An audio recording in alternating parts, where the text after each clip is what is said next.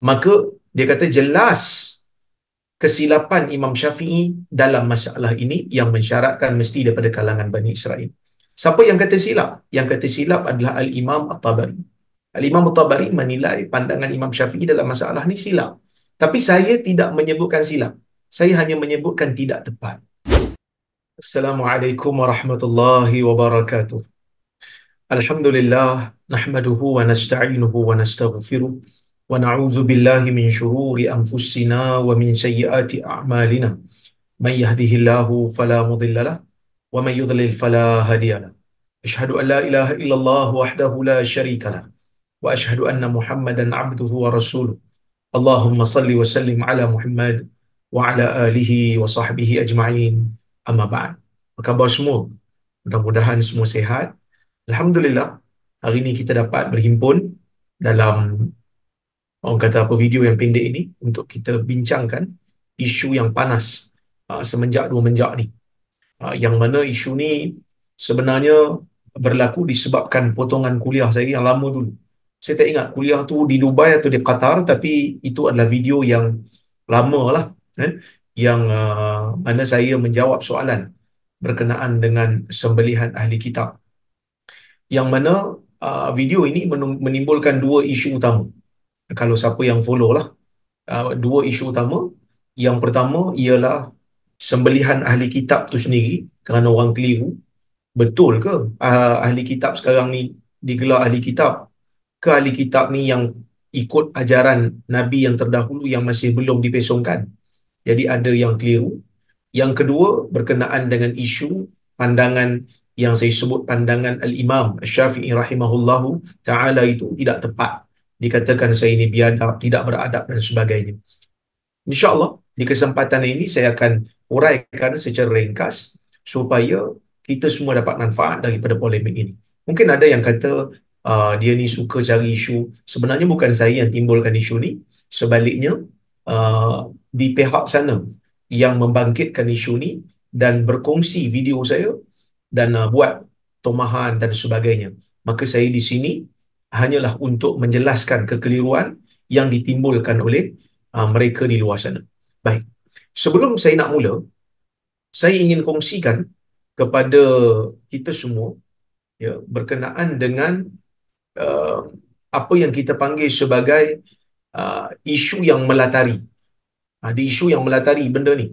Jadi kita tengok dulu saya video yang saya akan kongsikan ini ya. Sekejap, saya kongsikan video ini. Okey, ini video 48 saat. Video ni dikongsikan oleh sebahagian pihak. 48 saat ni dikongsikan oleh sebahagian pihak. Jadi kita tengok sama-sama. Bahkan daging sembilan ahli kitab pada masa sekarang. Uh, ahli kitab ni siapa? Uh, itu yang menjadi persoalannya. Ahli kitab ni orang Yahudi dan Nasrani. Maka siapa saja yang Yahudi dan Nasrani dan dia sembelih, maka uh, sembelihan itu halal. Walaupun orang Kristian tu baru convert. Selagi mana dia sembelih, maka halal. Ya, maka halal. Baik. Uh, nomor, ini pandangan majoriti ulama. Tapi kalau mazhab syafi'i dia kata tak. Ahli kitab ni dia mesti ada keturunan daripada Bani Israel. Tapi pandangan Imam Syafi'i tak tepat. Pandangan yang tepat, selagi mana dia telah masuk agama Kristian, selagi mana dia telah masuk agama Yahudi, bila dia sembelih saja, makanan dia halal. Kerana Nabi SAW dalam hadis Bukhari, pernah memberi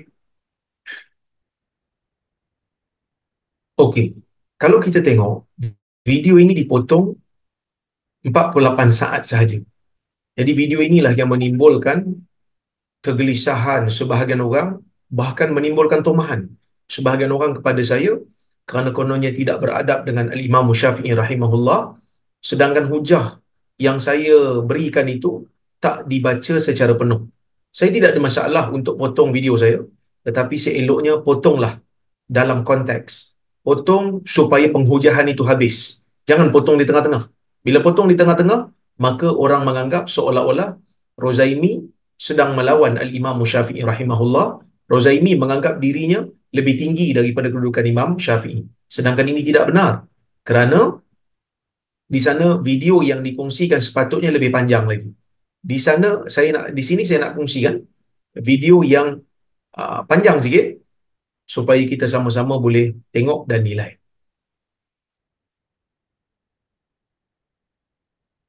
Pada masa sekarang, uh, ahli kitab ni siapa? Itu yang menjadi persoalan ni. Ahli kitab ni orang Yahudi dan Nasrani. Maka siapa saja yang Yahudi dan Nasrani dan dia semelih, maka semelihannya itu halal. Walaupun orang Kristian tu baru convert. Selagi mana dia sembelih, maka halal. Ya, maka halal. Baik. Uh, cuma ini pandangan majoriti ulama. Tapi kalau mazhab Syafi'i dia kata tak. Ahli kitab ni dia mesti ada keturunan daripada Bani Israel. Tapi pandangan Imam Syafi'i tak tepat. Pandangan yang tepat, selagi mana dia telah masuk agama Kristian, selagi mana dia telah masuk agama Yahudi, bila dia sembelih saja, makanan dia halal. Kerana Nabi SAW dalam hadis Bukhari, pernah memberi surat kepada Heraklius. Ha, Nabi beri surat kepada Heraklius, Maharaja Rom Timur yang berpusat di Konstantinopel dia bagi surat dan dia letakkan ayat Quran. Ya ahlal kitab ta'alu ila kalimatin sawa'in bainana wa bainakum. Wahai ahli kitab marilah kita duduk sama-sama di satu titik pertemuan antara kami dan kamu. Alla na'budu alla na'budu illa alla na'budu illa Allah kita tidak sembah melainkan hanyalah Allah wala nusyrika bihi syai'a dan kita tidak melakukan syirik kepada Allah nampak jadi dia tu Heraklius tu dia bukan orang Yahudi. Dia orang Eropah. Bangsa kulit kuning, Bani Asfar. Tapi bila mana dia convert masuk Kristian, Nabi letak ayat Quran, wahai ahli kitab. Menunjukkan dia adalah ahli kitab. Maka sebab tu kalau kita pergi mana-mana negara yang yang majoriti Kristian dan kita tahu negara tu sembelih, uh, maka boleh makan sembelihan. Tapi sekarang ni kalau Eropah dia bahaya sikit sebab dia guna stunning. Uh, dia guna teknik stunning. Ada perbahasan. Ada yang stunning tu sampai mati dulu baru nak sembelih. Tapi saya boleh kata pada tuan-tuan, antara makanan yang Nasrani hari ini dengan Yahudi, lebih baik Nasrani Yahudi. Boleh makan kosher pun. Kerana orang Yahudi masih menjaga sembelihan mereka, dan mereka sembelih sama macam orang Islam sembelih. Bukan wajib makan, boleh makan. Tak lalu makan, tak payah makan. Tak lalu makan, tak payah makan. Yang ni yang cerita yang terpaksa makan. Contoh macam ada anak uh, student dia, dia masuk Islam daripada Sarawak. Okey. Jadi, kalau kita tengok di sini, saya membahaskan tentang dua pandangan. Pandangan yang pertama adalah pandangan majoriti ulama dan pandangan yang kedua adalah pandangan al-Imam Syafi'i rahimahullah. Jadi apabila kita membandingkan dua pandangan, maka uh, saya menyebutkan di situ pandangan yang tepat adalah pandangan majoriti. Maksud saya ialah pandangan majoriti lebih tepat kerana ada hadisnya di situ. Jadi timbul persoalan yang pertama. Betul ke ahli kitab sekarang ini sembelihan mereka boleh dimakan. Saya sebut tadi, Al-Imam Syafi'i rahimahullah dan madhab Syafi'i mensyaratkan dengan syarat yang ketat, iaitu mesti berketurunan Bani Israel. Tetapi majoriti ulama tidak berpandangan seperti itu. Buktinya apa? Buktinya kalau kita lihat ha, di dalam tafsir At-Tabari. Ha, kalau kita lihat dalam tafsir At-Tabari, sekejap saya kongsikan kepada tuan-tuan dan puan ya. Okey. Al-Imam At-Tabari, ini tafsir Tabari ya jilid yang ke-9 muka surat 573 okey kemudian disebut di sini ikhtulifa fi man ana ana Allah azza azza dhikru biqaulihi wa ta'amul ladina utul kitab ketika mentafsirkan ayat yang Allah Taala kata wa ta'amul ladina utul kitab halul lakum ya dan makanan orang-orang yang diberikan kitab itu halal bagi kamu maka Imam At-Tabari mengatakan kemudian berlaku perbezaan pendapat tentang siapakah yang dimaksudkan oleh Allah Azza wa Jalla dalam firman-Nya makanan ahli kitab. Man ahlul kitab? Siapakah ahli kitab? Kata Imam Tabari, faqala ba'duhum ana Allah bidzalika dhabihata kulli kitabi mimman unzila alaihi Taurat wal Injil. Wal Injil. Ya. Baik yang bermaksud sebahagian ulama mengatakan yang Allah maksudkan di sini ialah sembelihan setiap daripada ahli kitab yang mana diturunkan ke atasnya Taurat dan Injil au mimman dakhala fi millatihim fadana dinahum. Ataupun sesiapa yang masuk ke dalam agama mereka dan beragama dengan agama mereka. Wa harrama ma harramu wa halala ma halalu dan mengharamkan apa yang ahli kitab asal haramkan dan halalkan apa yang ahli kitab asal halalkan. Minhum wa min ghairihim min sa'iri ajnasil umam. Daripada kalangan mereka ataupun selain daripada mereka daripada keseluruhan jenis dan bangsa manusia. Maksudnya kalau ikut di sini, pandangan yang pertama mengatakan bahawasanya semua orang yang beragama Yahudi dan Nasara tak kira daripada bangsa apa sekalipun maka dia digelar ahli kitab selagi mana dia beragama dengan agama Yahudi dan beragama Nasrani. Ini pandangan yang pertama kata Al-Imam Tabari kemudian Imam Tabari bawa riwayat-riwayat yang menunjukkan uh, ini merupakan uh, pandangan yang mereka pegang. Uh, riwayat Ibn Abbas dan selainnya. Okey. Kemudian Imam Tabari bawakan pandangan yang kedua. Waqala akharun. Berkata ulama yang lain. Ya. Inna ma'ana billadhina utul kitab fi hadhihi al-ayah. Sesungguhnya Allah maksudkan dengan lafaznya orang-orang yang diberikan kitab dalam ayat ini alladzina unzila alaihimut taurat wal injil min bani israil wa abnaihim yang dimaksudkan ialah orang yang diturunkan kepada Taurat dan Injil daripada kalangan Bani Israel dan anak-anak mereka, keturunan mereka sahaja. Fa amma man kana dakhilan dan tetapi siapa yang masuk siapa yang dimasukkan ke dalam mereka? Dakhilan fihim min sairil umam daripada kalangan umat-umat yang lain. Daripada kalangan bangsa yang lain bukan Bani Israel. Mimman dana bininihim. Kemudian dia beragama dengan agama mereka yakni agama uh, Yahudi dan Nasara wahum min ghairi bani Israel sedangkan mereka bukan daripada kalangan bani Israel falam yu'na ataupun falam ya'ni bihadhihi ayat Allah tak masukkan dalam dengan ayat ni. Maksudnya tak termasuklah. Yang hanya termasuk daripada kalangan bani Israel sahaja. Itu sahaja yang digelar sebagai ahli kitab. Walaysa huwa mimman yahillu aklu dhabahi zabaihi. Yang mana walaysa huwa mimman dia tak termasuk. Kalau dia bukan daripada kalangan Bani Israel, maka dia tak termasuk daripada kalangan orang yang yahillu aklu zabaihihi. Yang mana dia tak termasuk di kalangan orang yang halal untuk kita makan sembelihannya. Li'annahu laisa mimman utiyal kitab. Kerana dia tu bukan orang yang diberikan kitab. Sebelum daripada kalangan orang Islam. Wahada qawlu, wahada qawlun, kana Muhammad bin Idris al-Syafi'i yaqulu. Inilah pandangan yang dipegang oleh Al-Imam Muhammad bin Idris Al-Syafi'i. Okey. Al-Imam At-Tabari sendiri menyatakan bahawasanya ada dua pandangan dalam isu ini. Ah, ada yang pertama mengatakan semua yang beragama dengan agama ahli kita uh, beragama Yahudi dan Nasara daripada mana-mana bangsa maka digelar ahli kitab. Imam Syafi'i agak sedikit ketat. Jadi saya membandingkan dua pandangan ini. Okey, pandangan yang pertama tu pandangan siapa? Antara kalau kita nak tengoklah, antara yang berpegang dengan pandangan ini ialah Al-Imam Abu Hanifah. Yang mana Al-Imam Abu Hanifah, ya, kalau kita tengok di dalam kitab-kitab mazhab Hanafi, mereka mengatakan bahawasanya sesiapa yang berpegang dengan ajaran ini, berpegang dengan uh, kitab uh, ataupun ber, apa, apa, apa ni convert kepada agama Yahudi ataupun Nasrani, maka digelar sebagai ahli kitab. Tak kiralah ibu bapa dia siapa. Ha, kalau kita tengok kan. Okey. Juga ada dalam kitab mazhab Maliki. Sebahagian daripada ulama mazhab Maliki juga menyebutkan benda yang yang sama. Ada khilaf di kalangan para ulama, tetapi inilah yang dipegang oleh uh, Hanafi dan juga sebahagian ulama dalam mazhab Maliki.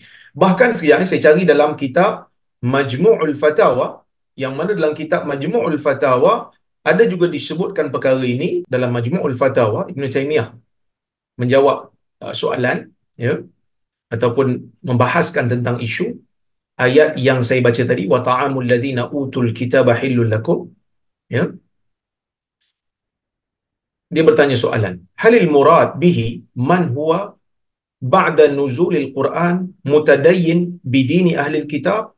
Awil muradu bihi man kana aba'uhu dakhalu fi dini ahli kitab qabla an-nasakh wa tabdil ala lil ulama. Maksudnya adakah ini dimaksudkan dengan ayat ni yang dimaksudkan dengan ahli kitab ni ialah orang yang beragama dengan agama ahli kitab selepas turun Quran ataupun dimaksudkan ialah orang yang keturunannya dah masuk ke dalam ahli kitab sebelum ia dibatalkan oleh Islam syariat Islam dan sebelum ia diubah sebelum dia di, diselewengkan ala qaulain lil ulama ada dua pandangan di kalangan ulama pandangan yang pertama ialah pandangan majoriti muslimin daripada kalangan salaf dan khalaf iaitu mazhab Abu Hanifah, Malik dan salah satu pandangan dalam mazhab Ahmad ya yang mengatakan siapa saja yang beragama dengan agama ahli kitab walaupun selepas turunnya Quran maka dianggap sebagai ahli kitab. Ya. Manakala pandangan yang kedua yang mengatakan dia mesti berketurunan daripada Bani Israel ini adalah pandangan Al-Imam Syafi'i dan juga pandangan Ahmad. Ini adalah pandangan Ahmad. Jadi maksudnya di sini uh, sememangnya ada khilaf di kalangan para ulama dan saya melihat dari sudut pengkajian, dari sudut penelitian, saya melihat ini adalah uh, isu khilaf yang muktabar tetapi ya dari sudut kekuatan hujah ada pada majoriti ulama sekadar kajian saya ya tetapi ya di sana ada juga pandangan yang lebih luas daripada tu. Ha, jangan terkejutlah ada pandangan yang lebih luas yang kalau kita dengar pun kita terkejut. Saya bawakan nukilan daripada kitab uh, Al-Halal wal Haram ha, buku ni ada terjemahkan pun dalam bahasa Melayu. Ha, boleh tengok karya Al-Imam Al-Syekh Al-Qaradawi. Al-Syekh Al-Qaradawi membawakan pandangan daripada Ibn Al-Arabi daripada mazhab Maliki. Dia mengatakan bahawasanya uh, kalau ahli kitab itu uh, menganggap halal bagi haiwan yang tak disembelih. Contohnya dia kata uh, kalaulah seorang tu dia uh, Nasrani itu dia patahkan tengkuk oh, ayam. Kemudian dia masak.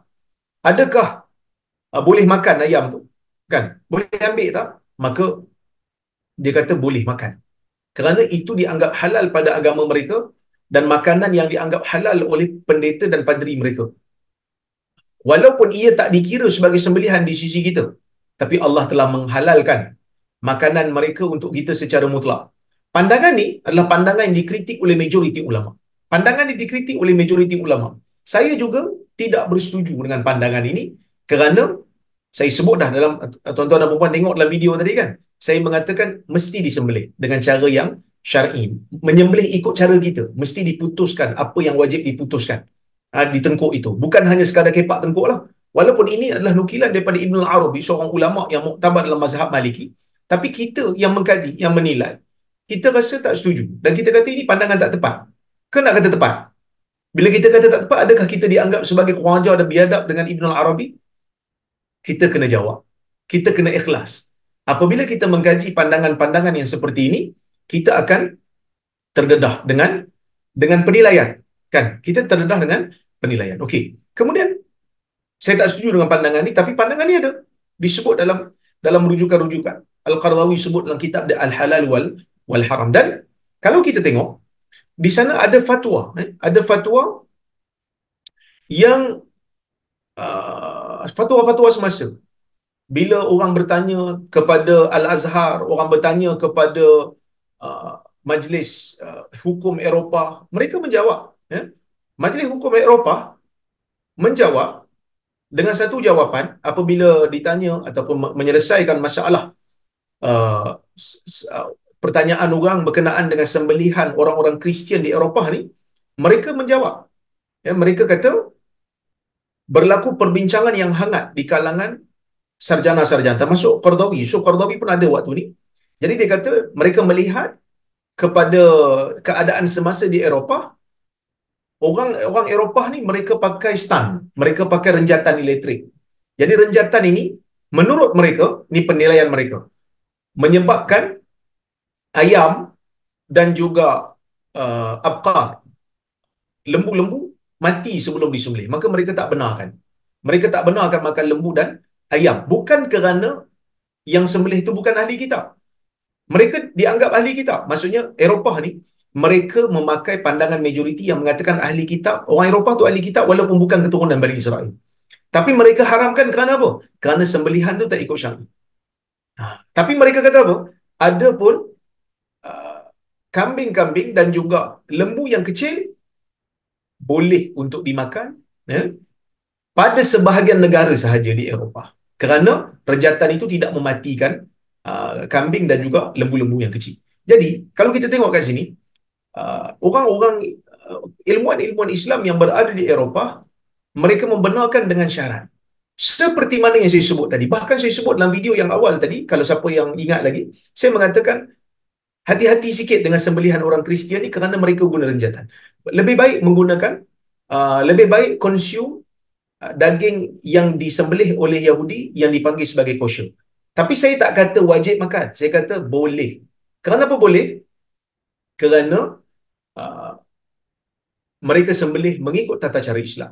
Bahkan bukan saya juga, ya, bukan saya seorang berpandangan begini, kalau kita tengok apa yang disebutkan oleh Syekh Ali Jumu'ah di Mesir, dia juga mengatakan benda yang sama, iaitu orang-orang Yahudi sehingga ke hari ini masih lagi menyembelih mengikut tata cara Islam. Mungkin ada yang kata pada saya, apalah Rora, kau ikutlah MKI, kau ikutlah fatwa kebangsaan. Saya nak sebut di sini, betul, saya tidak nafikan fatwa kebangsaan dalam isu ini ya, mengikut pandangan mazhab Al-Imam Syafi'i rahimahullah. Tak salah untuk ikut mazhab Imam Syafi'i.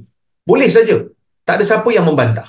Ya? Kalau kita tengok pada tahun 1984 telah pun dikeluarkan, dia kata memutuskan bahawa sembelihan ahli kitab yang asli boleh dimakan. Maksudnya dia mengikut mazhab Syafi'i lah. Ya? Tak mengikut mazhab majoriti ulama dalam masalah. Tak ada masalah. Kita berlapang dada. Ya? Tetapi kebanyakan fatwa-fatwa antarabangsa untuk orang-orang yang berada di Eropah, yang berada di Amerika, mereka mempunyai fatwa yang berbeza, mereka menggunakan mazhab majoriti ulama. Sebab itu ada yang membenarkan makan kosher food. Dan fatwa kebangsaan ini bukanlah mengikat kerana uh, urusan agama di bawah negeri-negeri.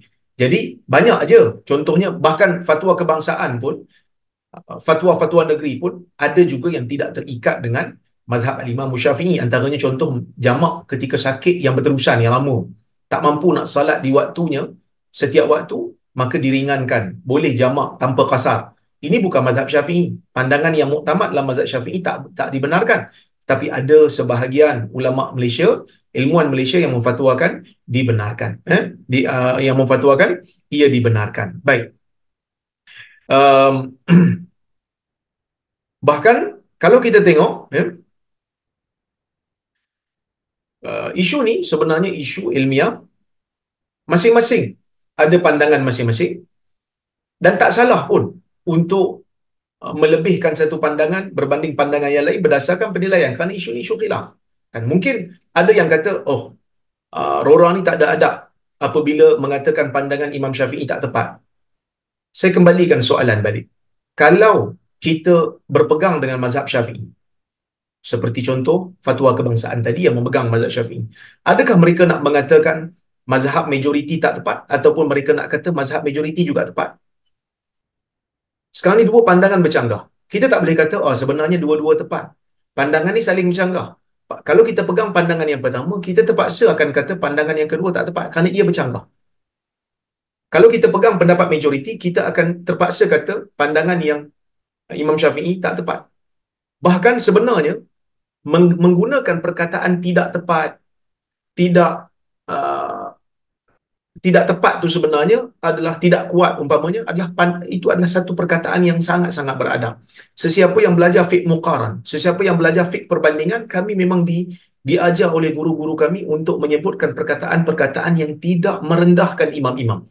Bila kita sebut tak tepat, apabila kita sebut uh, tidak orang kata apa? Um, kurang tepat ataupun tidak tepat sebenarnya itu adalah penghormatan kita kepada Imam Syafi'i kepada mana-mana ulama. Dalam masalah ijtihad memang guru kami dulu menyebutkan jangan sebut pandangan ini adalah pandangan yang hak manakala pandangan yang lain adalah pandangan yang batil. Sedangkan isu ini isu ijtihad. Kalau saya sebut pandangan Imam Syafi'i batil ah yang tu kira memang saya menghina Imam Syafi'i lah. Kerana isu ini isu ijtihad. Tapi saya menyebutkan pandangan tidak tepat pandangan majoriti lebih tepat. Ini adalah satu perkataan yang diterima dalam penulisan akademik ataupun pandangan majoriti adalah rajah. Pandangan Imam Syafi'i adalah marjur. Dalam bahasa Arab lah, tapi dalam bahasa Melayu tepat dengan tak tepat, kuat dengan tidak kuat. Bahkan sebenarnya, mungkin kerana mungkin kita tak biasa dengan perbahasan akademik, ataupun mungkin ada orang dia mungkin benci dengan saya, apa yang saya sebut dianggap sebagai salah, dianggap sebagai menyeleweng kerana benda tu saya sebut. Tapi sebenarnya kalau kita teliti balik, bila kita sebut mana-mana pandangan imam mujtahid sebagai tidak tepat, sebagai tidak kuat, berdasarkan penilaian kita, sebenarnya kita tidak menghina mereka. Bahkan kita mengangkat mereka di di martabat yang tertinggi.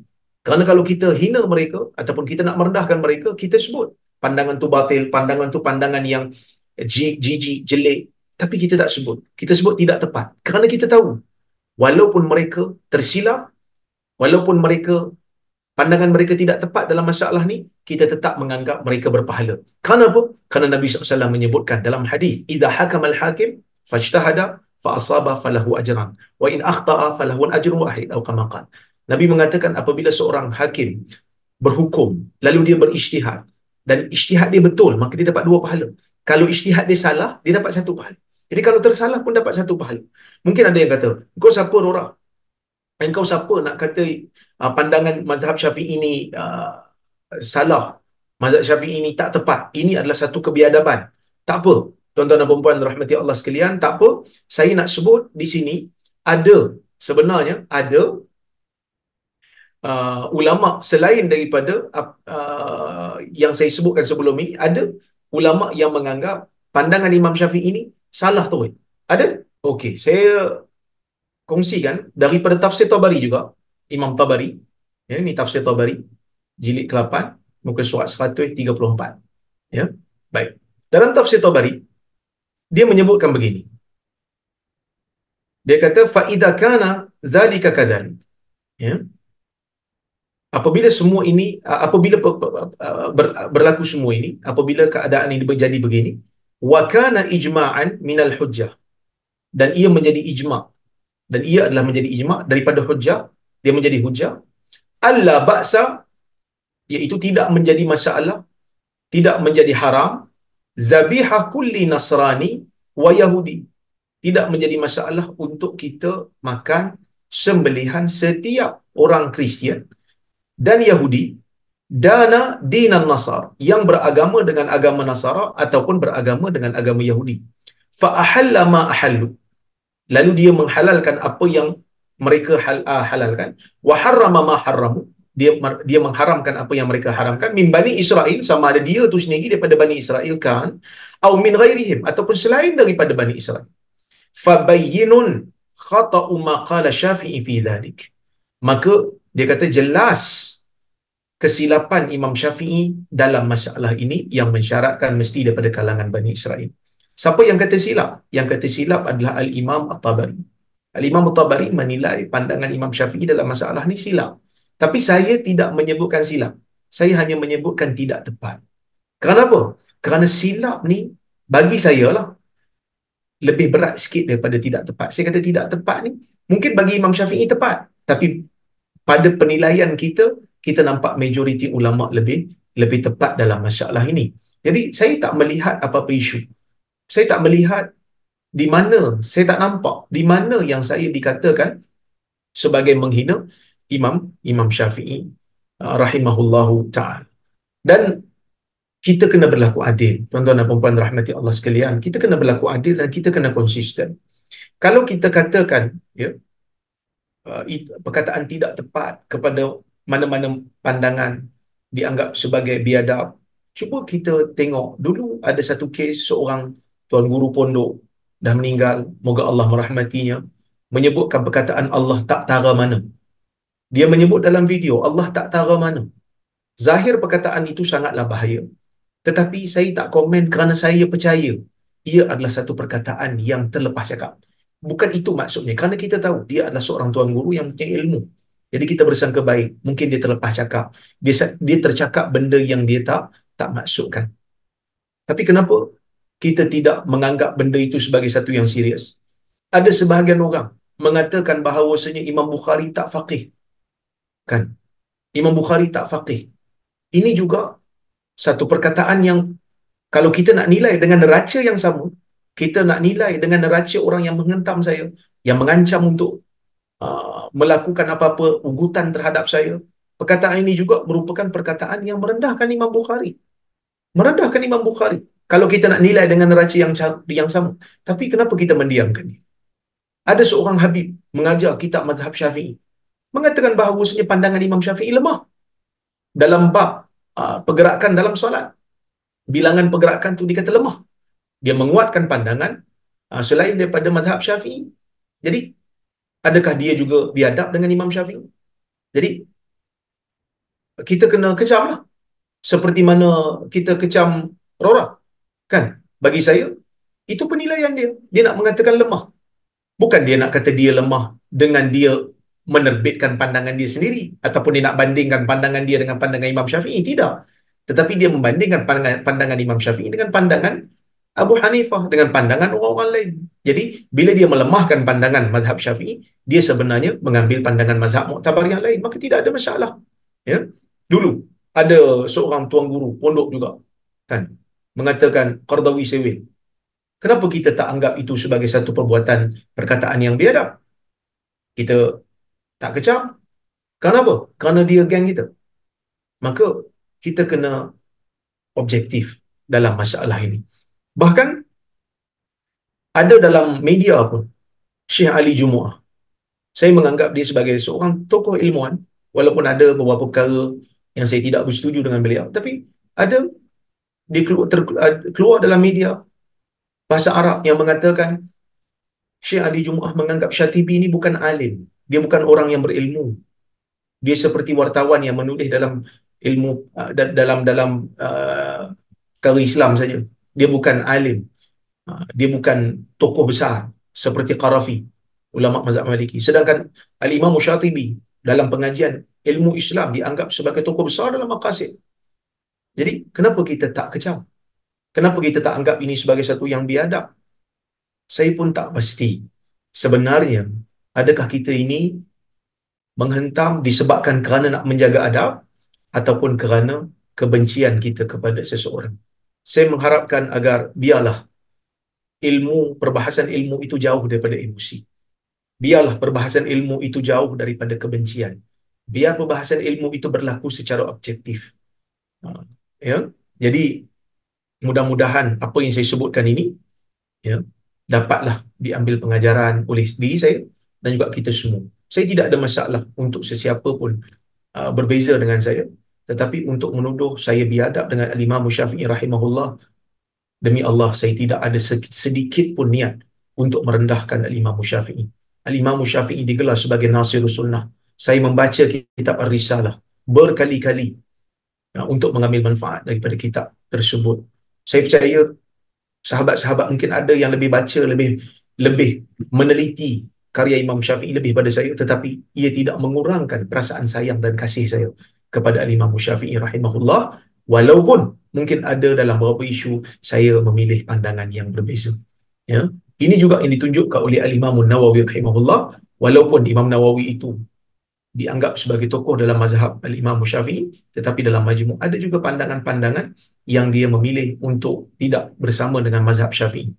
Dia memilih untuk uh, mengambil pandangan yang ber yang berbeza, eh, yang berbeza kerana mungkin pada pandangan dia ya uh, pandangan Imam Syafi'i dalam suatu masalah itu tidak begitu kuat, tidak begitu kukuh penghujahannya. Itu penilaian Imam Nawawi lah. Adakah kita nak kata Imam Nawawi itu biadab uh, dengan dengan Imam Syafi'i?